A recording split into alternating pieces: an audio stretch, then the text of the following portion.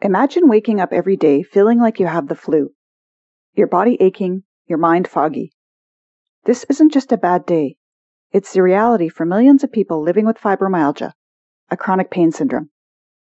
And what if I told you that the key to understanding this mysterious condition lies hidden within your own brain? Today, we're diving deep into the world of neuroinflammation and how it's revolutionizing our understanding of fibromyalgia. So, what is neuroinflammation?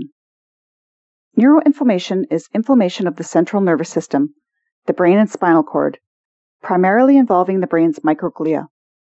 In fibromyalgia, it has been shown that microglia become overactive, releasing substances such as pro inflammatory cytokines and other signaling molecules that affect the functioning of neurons.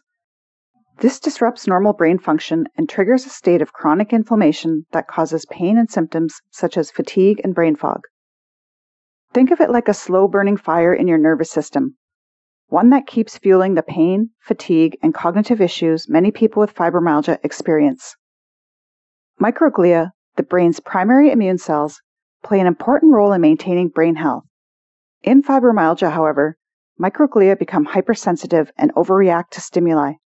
When activated, they change shape and release inflammatory substances that affect how neurons work, making the nervous system even more sensitive to pain. This constant activation is thought to cause many of the symptoms of the condition, like fatigue, trouble sleeping, and difficulty thinking clearly.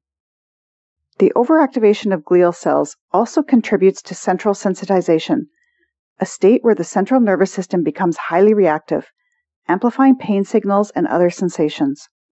As a result, people with fibromyalgia experience heightened pain sensitivity and disruptions in normal brain function.